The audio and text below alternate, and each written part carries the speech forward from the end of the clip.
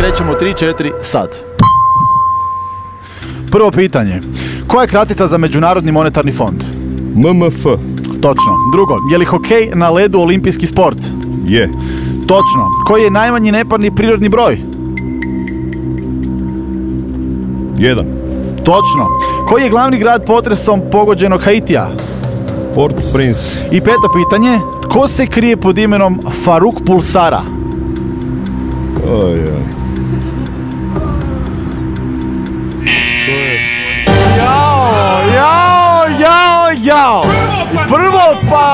músicos Atlas.